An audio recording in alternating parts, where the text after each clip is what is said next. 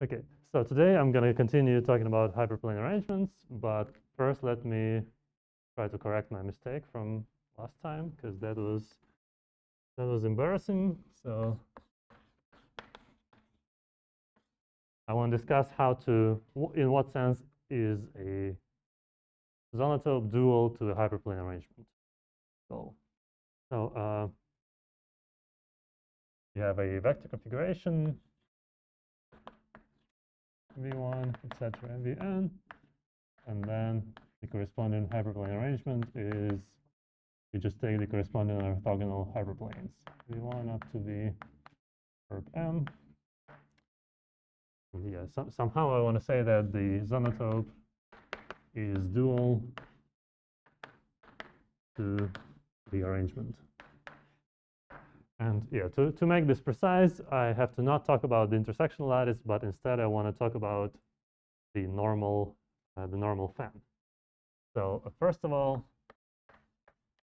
for any polytope, I'm going to define a normal fan right now. I should have done this in the first few lectures, but I actually uh, didn't do this, so let me do it now. First of all, a polyhedral cone is an intersection of a bunch of half spaces, which uh, all contain, like the hyperplanes have to contain the origin. And of the form, you take all x in RD uh, such that some dot products have to be non-negative for u1 for i from 1 up to uh, yeah for some some u1 all the way up to u um, in rd and yeah so the picture you should think of is like this. Here's the origin and then you have you take some hyperplanes through the origin and then you choose some region. That's a polyhedral cone and a polyhedral fan is uh, denoted fancy F is a collection of polyhedral cones uh, set of polyhedral cones such that two conditions are true. First of all, the face of any cone, so it's very similar to what we had before for like um, for triangulations and zonotopal tilings. First of all, if you have a polyhedral cone, then all of its faces, all faces of C belong to F. And the second condition is the proper intersection. If you have two different cones, C and C prime, in your fan, then their intersection is their common face.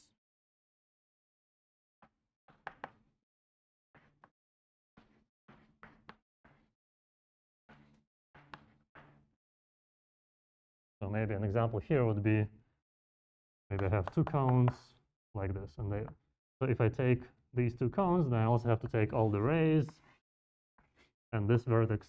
So I'm taking all faces of each cone. That's my that's my fan. So it's sort of, uh, I could instead think of the relative interior of each cone, right? So I would have some decomposition to open like interior of this triangle, of this triangular region and of this triangular region and, and these three open rays and this vertex here. All right. How do I associate a fan to a polytope? Definition, let's say you have a polytope in RD.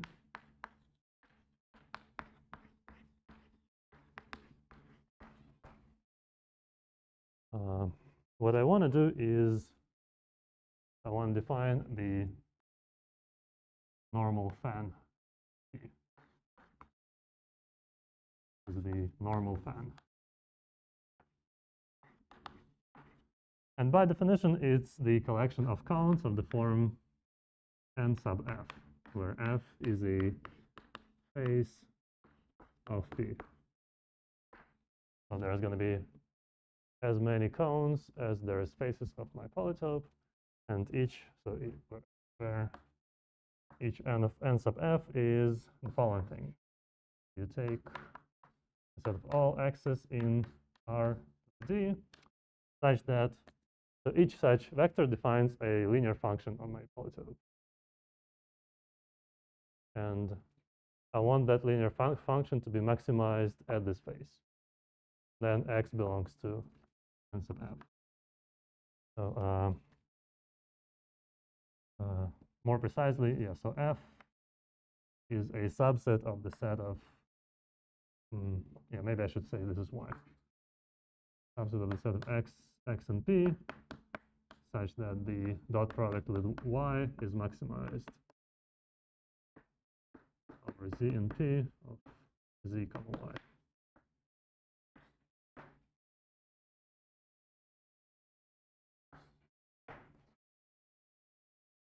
All right. So what what do what what are you supposed to see in the picture? Let me draw a picture. Let's say P Is a pentagon like this.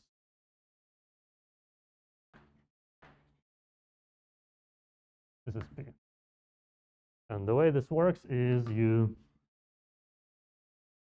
you look at each vertex and you to draw the normal fan, what I do, like what is the n sub f where f is this vertex here? Well, the I claim that it's a cone which looks like this. So if my vector points anywhere from here to here, uh, vector y points anywhere from here to here, then it's maximized at this vertex. Maybe possibly including some of its adjacent faces.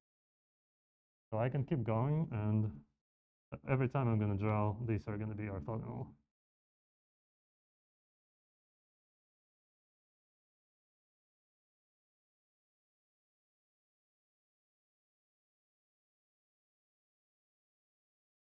Hmm?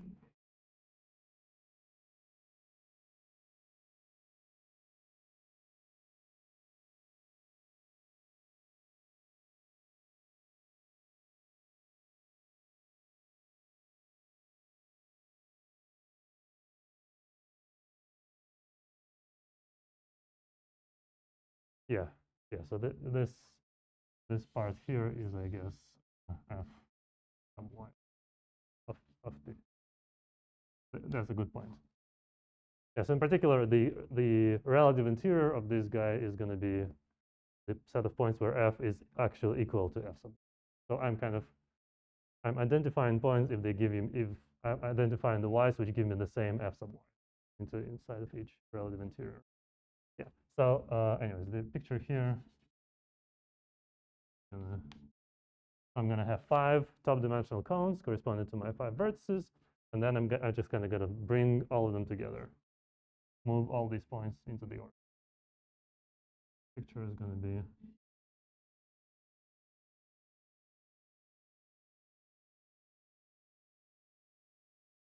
have five one-dimensional cones, and then I have five two-dimensional. cones.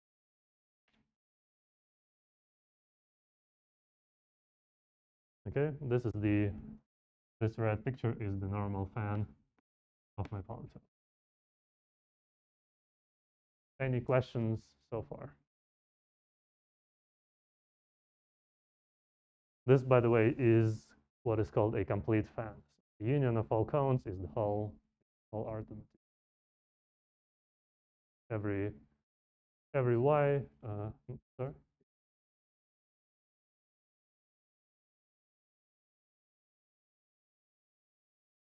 Yeah, yeah. So in general, arbitrary fans need not be complete. Like this is fine, but the normal fan of every polytope is a complete fan. Okay. Now, uh, what is what is another natural way to get a fan? Which, by the way, this this is related to the dual polytope of P in some in some way. You, you may want to think about how is we studied dual polytopes, and somehow there is there is a dual polytope of P somewhere. I'm not gonna talk about this right now. anyways, uh, another way to get a cone is you take a central hyperplane arrangement, a central hyperplane arrangement. Maybe I have something like this. A Bunch of hyperplanes. I'm going to assume that all pass through the origin.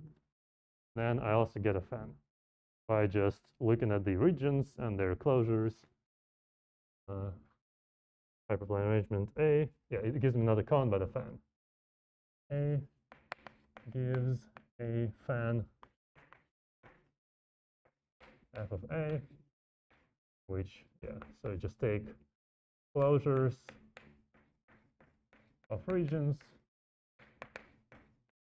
and their faces.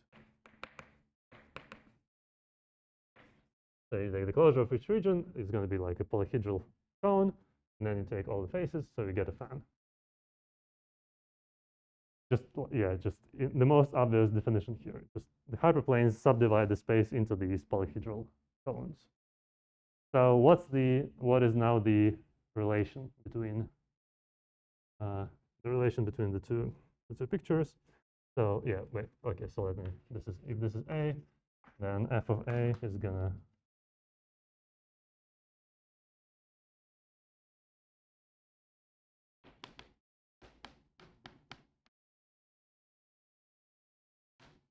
This is f of a.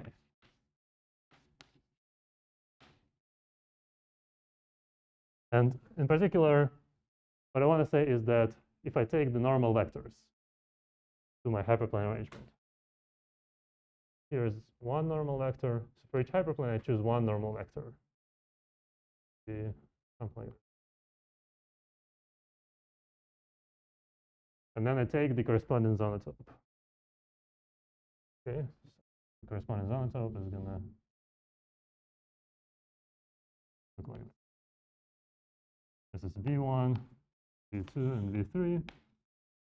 And this is Z sum V.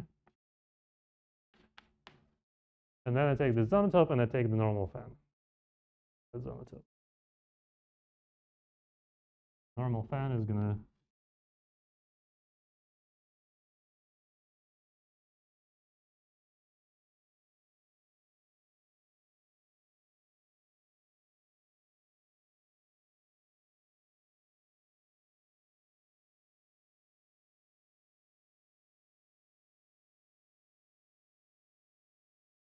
okay. So it's going to have six cones.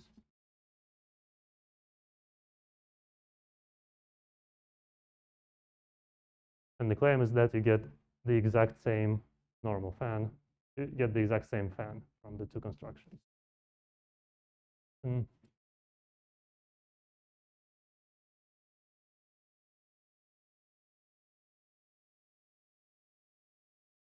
Position if you have A, H1, etc., HM, central arrangement of hyperplanes, central arrangement of hyperplanes, and V is V1, etc., VM, I is the orthogonal complement of H in some some choice. These are the normal vectors. Then the claim is that the uh, normal fan of the zonotope coincides with, with the fan associated to the hyperplane arrangement. Okay. And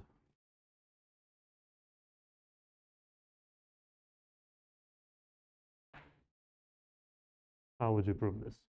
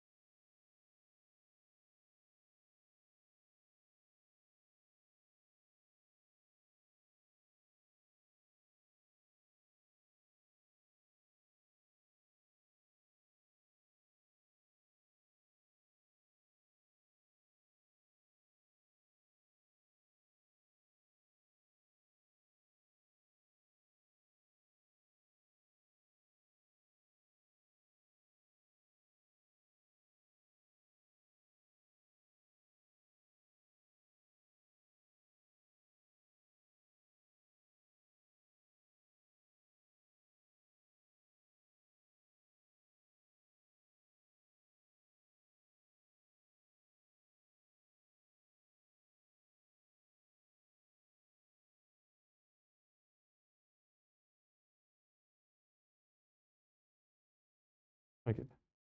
Yeah, I think uh, I think I see what you're saying. And yeah.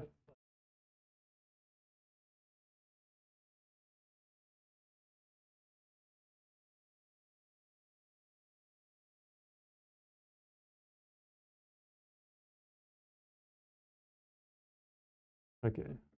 Right. Yeah. So so that's actually that works in two dimensions, obviously, but also in higher dimensions. There's some argument. Yeah. Let let me write down. So what uh what what you guys said. Basically, yeah. If you if you take y some vector, and then you so which element of the normal fan of the zonotope it belongs to? Well, you have to. That depends on what is f sub y of the, of the zonotope right? We're just basically the whole, the cone depends on what is f sub y. And what is f sub y? It's, so this guy is a Minkowski sum of line segments.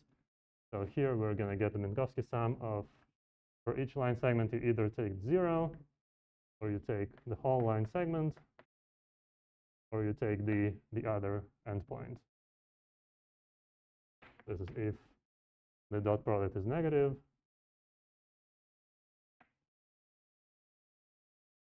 This is if the dot product is 0. This is if the dot product is positive. And right, so that's just basically this data determines so the dot products of y with each vi determine which space it gives here and therefore which cone inside of this fan it belongs to.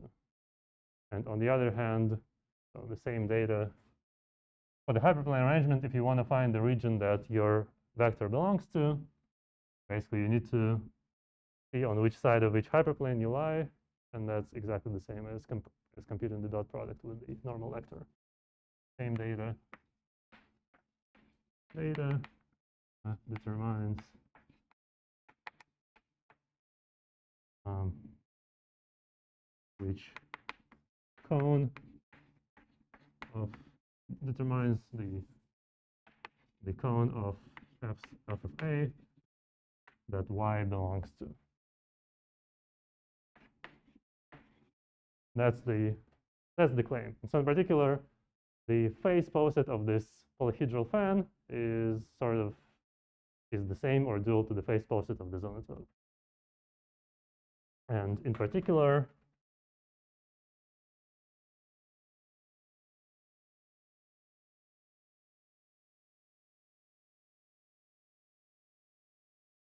The cool consequence for us is that corollary is that if you want to compute the number of vertices of a zonotope, this is an arbitrary zonotope, yeah, almost arbitrary. Then it's just the same thing as computing the number of regions of the corresponding hyperplane arrangement. Okay, so when I teach you how to compute regions of central arrangements, basically that's the same as computing number of vertices of zonotopes. And remember, so we had some interesting results about number of vertices of zonotopal tilings. That's different. I'm, I'm also going to talk about that, but for now, so these are only the vertices of the zonotopal tiling which are on the outside of it. All right, anyways. That's the connection that I wanted to make.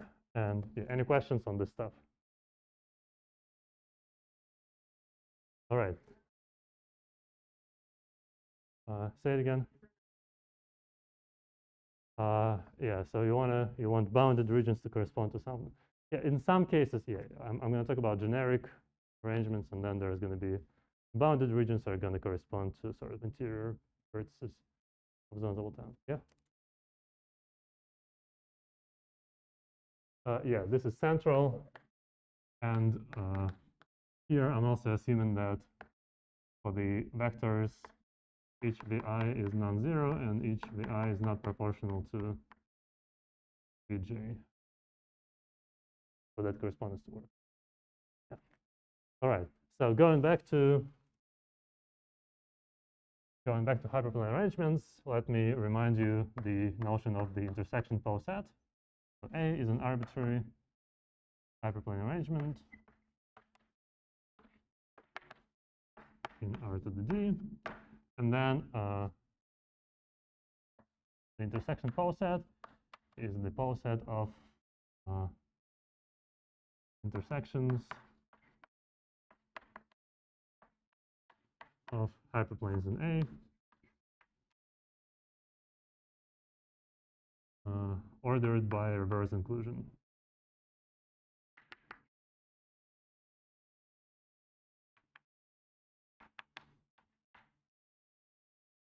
And uh,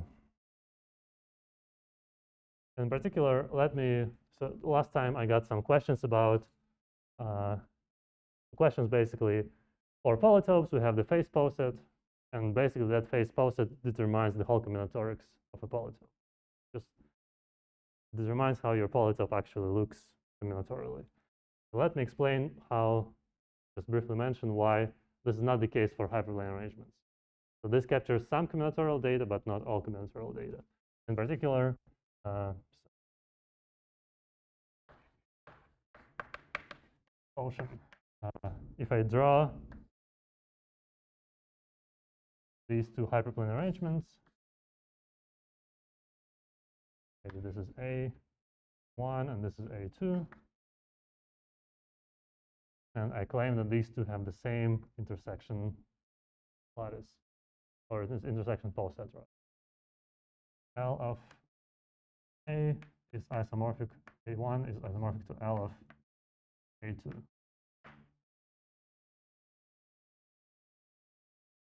You see that? Hmm? Right. Uh,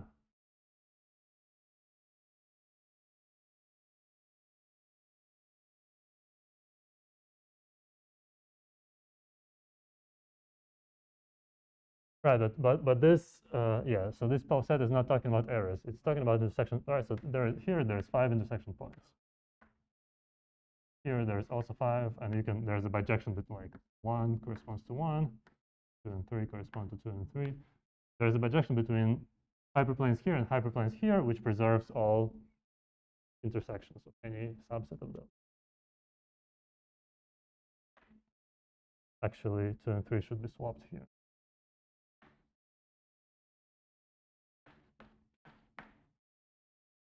Yeah, so in particular, the actual way it looks, the hyperplane arrangement looks, is not determined. But somehow notice that here, there's two bounded regions, and here there's two bounded regions. Here there is one, two, three, four, five, six, nine, ten. There is uh, the bounded regions are the same, and the regions two the number of total regions is 10 both cases. Somehow, even though this poset captures only partial, partial information about the arrangement, the miracle is that the number of regions can be computed purely in terms of the poset. How do you, how do, you do that?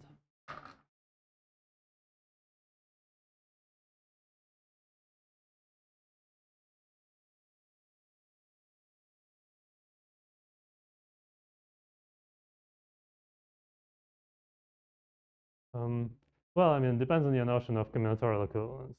You're saying maybe, no, but I mean, like, if you look at the set of bounded regions, right? So take all bounded regions, take the closure. Here it's a it's a it's homeomorphic to a ball, and here it's not. So, I mean, of course, bounded regions. If you if you look at them in the projective space, then everything is bounded. But actually, yeah, I, I mean, so first of all, you can talk about, you can projectivize an arrangement only if all hyperplanes pass through the origin. But still, you can. There is a procedure where you have some. Th these are not central, but you can you can put them in one dimension up, and you take you can take the cones over them, and they they are gonna. There's a way to make every hyperplane arrangement that's not central into a central one by increasing dimension by one. And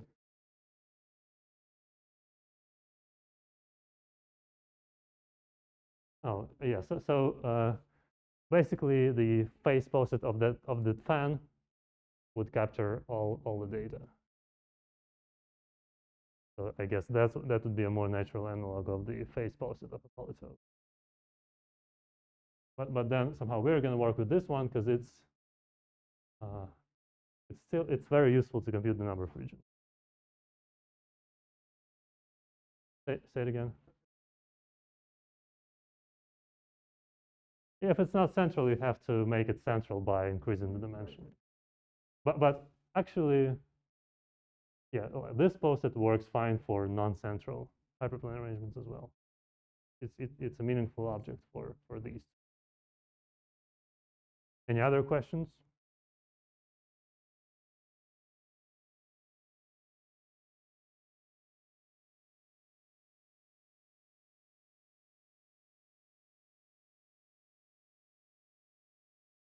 All right, so how do I compute the number of regions? And that's actually, so let me start this new subject. It's called the characteristic polynomial.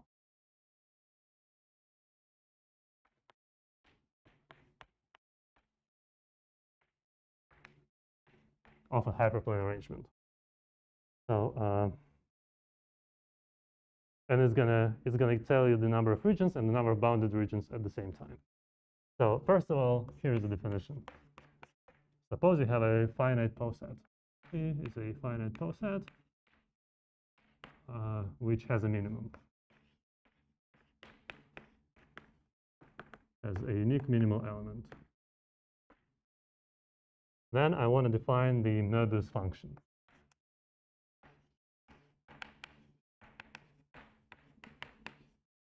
Which uh, is denoted by mu. It associates an integer to every element of P. Is the Möbius function is computed recursively. It's defined recursively, recursively by the following two conditions. Mu of the minimal element is 1, and then for any for any uh, for any non non-zero for any non-minimal element y, the condition is that the sum over x less than or equal to y mu of x is zero.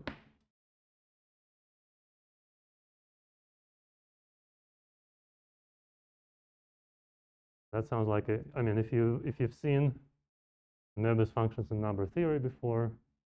This is the complete analog. If you, how many people have seen Möbius function for integers? One, two, three. Okay. Yeah. So if you take the poset of integers ordered by which ones divide, divide which ones, then this this definition specializes to the Möbius function of that.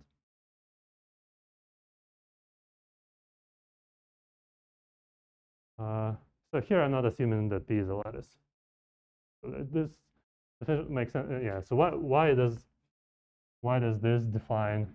Why is this a well-defined function?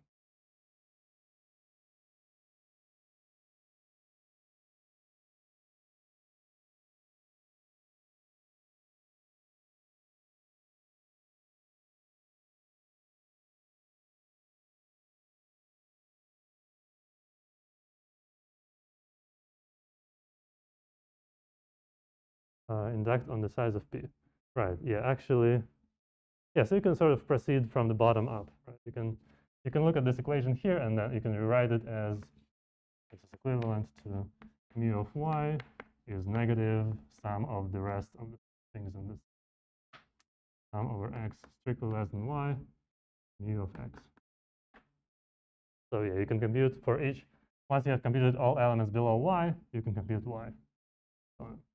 Okay, so let's do some examples.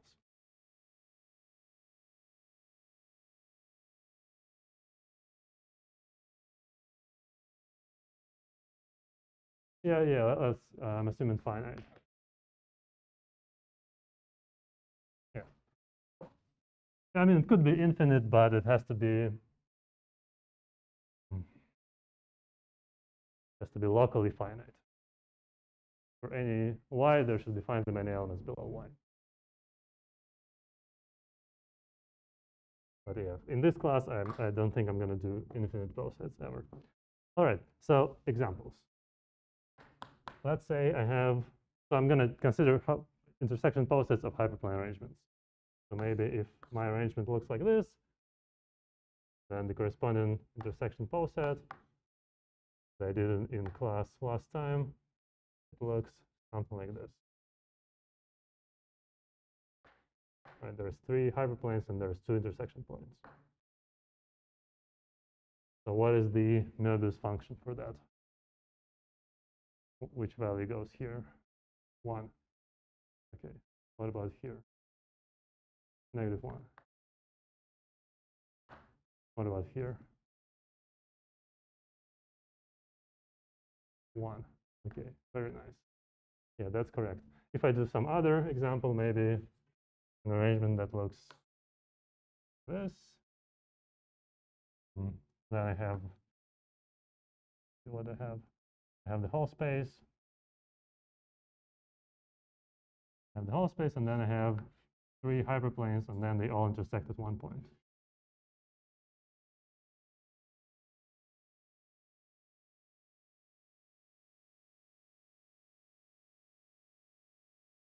Hmm?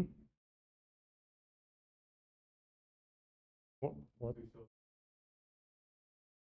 They still have one, uh, okay, one in the bottom. And then here, negative one, negative one, negative one, here. All right. Very nice.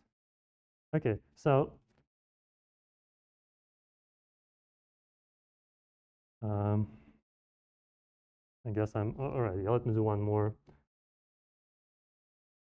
Let, let me actually now give a definition.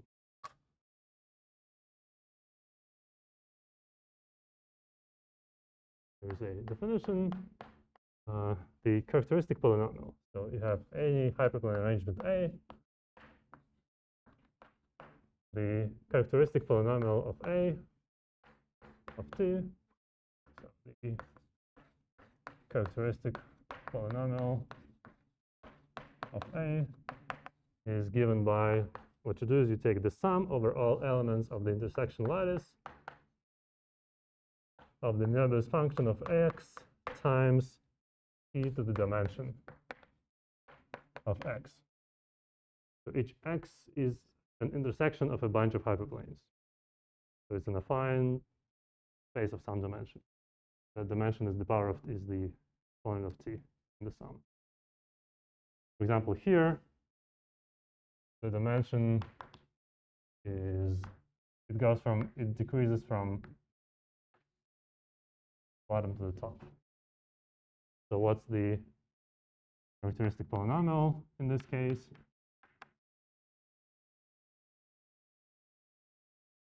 Two minus three t plus t squared. Okay. What about here?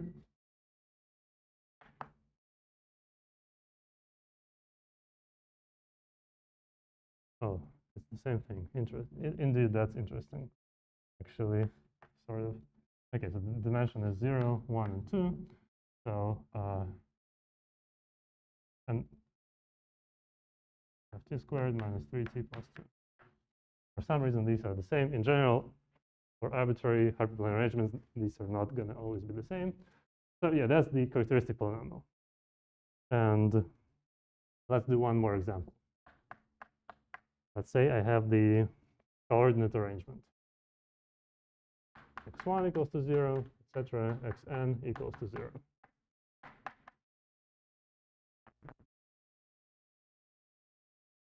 What is the intersection poset that coordinate arrangement?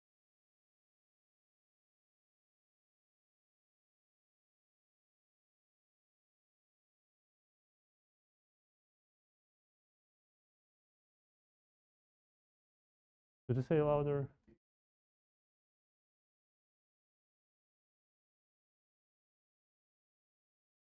Okay, I have one element and then it splits into n many, and then what happens? Oh, you think it's, yeah, actually, I don't think it's, so let, let, let me try draw the coordinate arrangement. Hmm.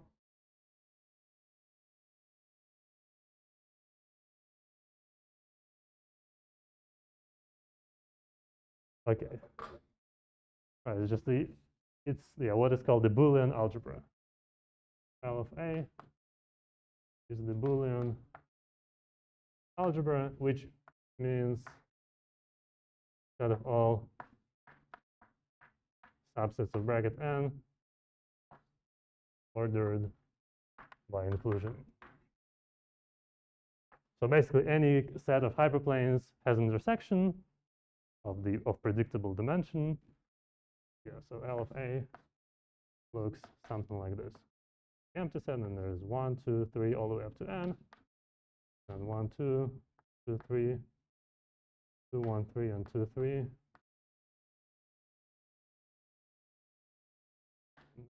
One, two, three. All right. So how do I compute the Möbius function?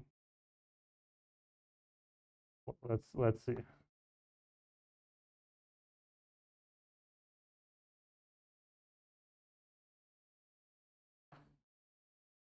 Here it's 1. What about here? Hmm, negative 1. What about here? 1. What here? Negative 1. Interesting. Uh,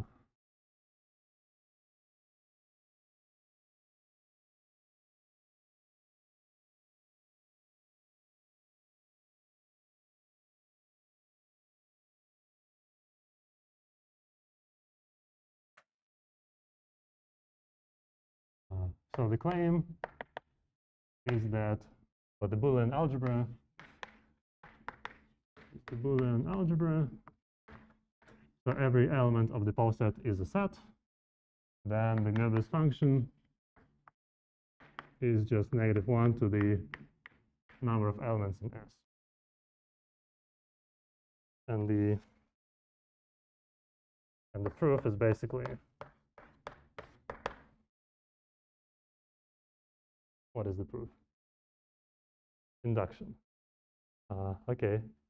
How do we prove it by induction?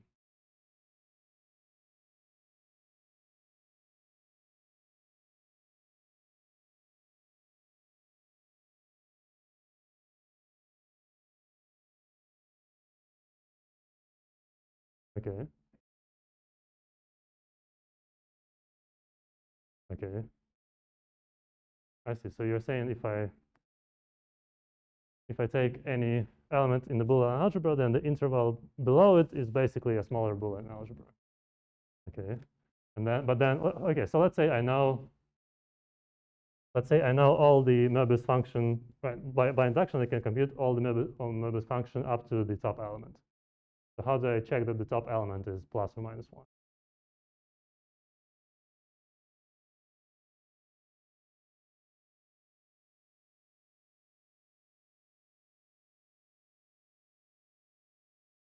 Nice. Okay. Yeah. So I just use the definition, and uh, yeah, basically the proof is the is that the sum for k equals from zero to n, and choose k times negative one to the k is zero because this is the same as one minus one to the n, the binomial theorem, and that is precisely the computation that goes into computing the Möbius function of the Boolean lattice. Very nice. Okay, in particular, what is the characteristic polynomial? 1 minus t. Actually, is it? Uh, so, so the dimension is maximal here. So the dimension is reversed, and, and the actual answer is t minus 1 to the n.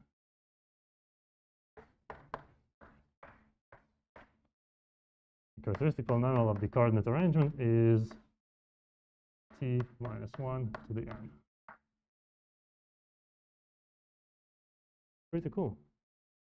Okay, so uh, now what is the number of regions? number of regions of the coordinate arrangement is what?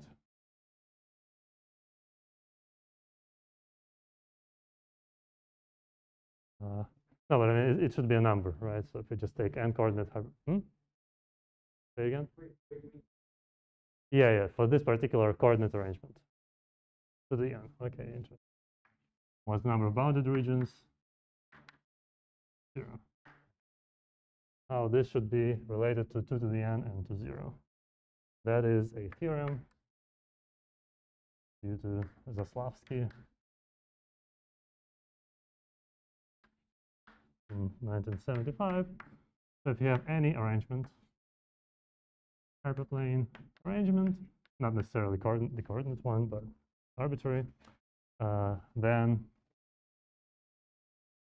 the claims are number of regions is plus or minus the characteristic polynomial at negative 1, negative 1 to the d.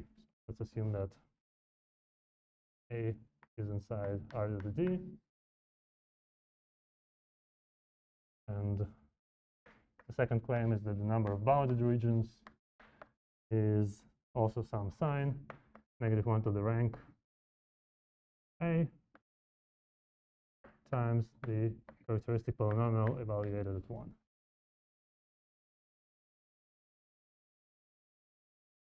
Which, yeah, so I think this is a, a super beautiful result. And yeah, let's let's check. Let's see. Uh, so we have this characteristic polynomial here. If I plug in negative 1, I get 6. 1, 2, 3, 4, 5, 6 regions. Okay. If I plug in 1, it's, it's 0. All right. Here, if I plug in, yeah, I mean, it's the same thing, same polynomial. So it works for all hyperplane arrangements. In particular, the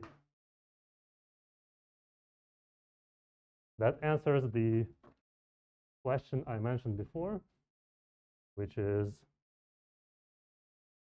if you only know the if you only know the intersection lattice of your arrangement, how do you find the number of regions? Well, there you go. Corollary uh, L of A determines the number of regions and number of bounded regions. So how do I how do I prove this? I'm not actually going to prove this, but in, in principle, how would you? I'm, I'm going to give you some proof idea. And the proof idea is again using deletion contraction recurrence. Uh, so here's the definition of deletion contraction for hyperplane arrangements. Let's say you have a hyperplane arrangement.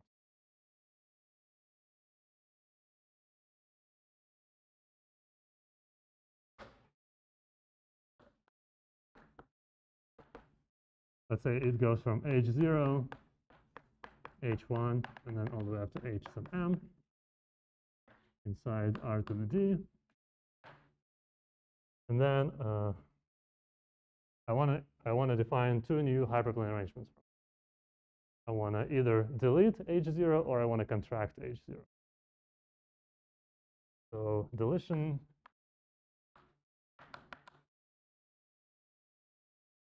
is defined as you just is denoted a minus h0. You just remove the corresponding hyperplane.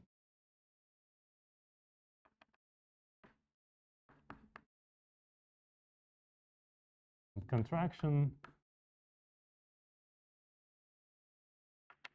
is a bit more interesting. What you do is you consider all basically intersect, you restrict to h0 h0 itself is a linear affine space, so you contraction denoted by a contract 0 slash here. Uh, it's just the set of all intersections which i intersect h0, so of all non-empty intersections like where uh, from 1 up to m. I'm assuming that these are all different hyperplanes. Some of them could be parallel, then I'm ignoring the intersection is empty, but otherwise uh, such that the intersection is non-empty. And this is a hyperplane arrangement. Hyperplane arrangement side h0, which is same, it, it's isomorphic to r to the d minus 1.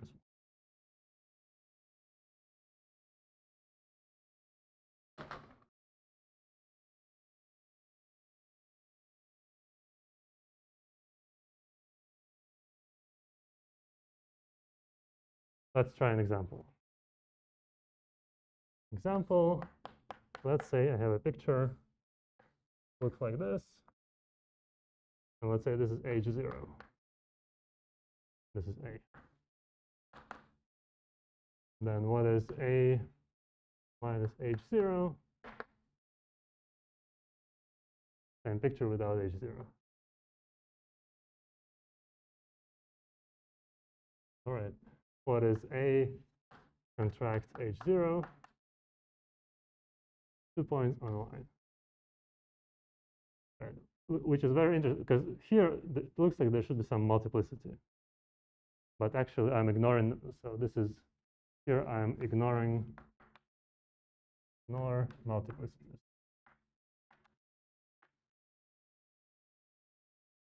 But yeah, we should we should remember this part because here uh, this is sort of unnatural. It would be, in some sense, it would be more natural to include to remember this point with multiplicity two.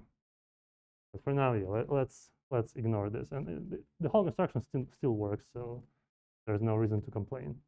Okay, so let's say, let me now prove a, let me now state a lemma.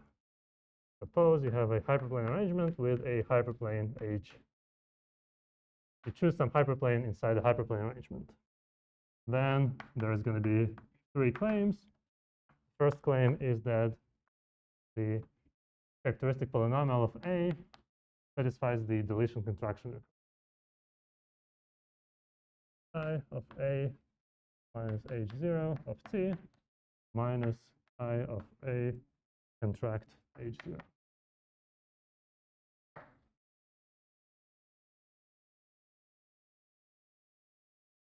The claim is you can always compute the characteristic polynomial by deletion contraction. It's a very explicit algorithm. You don't have to compute all the Möbius function, but, but uh, it's not clear which one of them is more effective, but there, this is a second algorithm you can use. So the second claim is that the number of regions of A is the number of regions of A minus H0 plus the number of regions of A contract H0. So let's see. Here I have 1, 2, 3, 4, 5, 6, 7, 8, 9, 10. Here R is 10. Here 1, 2, 3, 4, 7. R is 7. Here R is 3. It works. Hmm? Right, okay, so the second part actually follows from the first part. If you plug in, uh,